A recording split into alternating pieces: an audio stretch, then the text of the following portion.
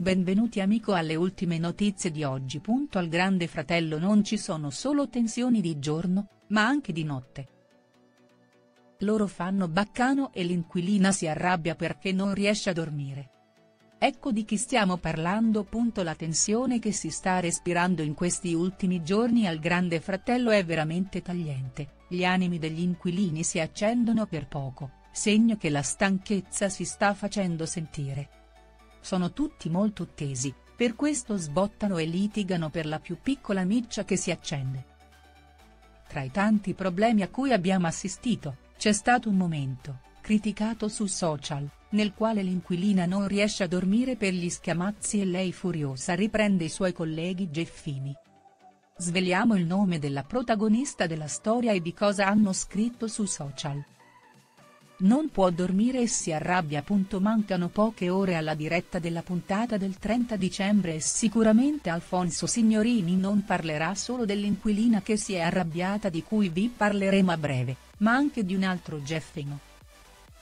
Anche lui probabilmente non sta dormendo, ma i motivi sono altri, in quanto si è reso conto di aver fatto una gaffe dopo l'altra. In primis quel pugno tirato contro il muro a Natale, secondo, quelle frasi infelici rivolte a Beatrice Luzzi il giorno seguente. La ciliegina sulla torta però l'ha messa con quelle irripetibili parole che ha rivolto verso i gay che hanno indignato il web. Per tutti questi fatti, secondo l'esperto del gossip, Amedeo Venza, Giuseppe Garibaldi sarebbe pronto a dire addio al grande fratello, Garibaldi in lacrime.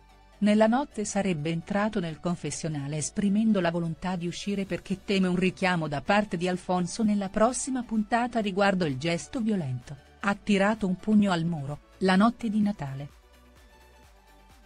Per capire se realmente il Geffino sarà squalificato o se lascerà comunque di sua spontanea volontà la casa, non ci resta che attendere la prossima diretta.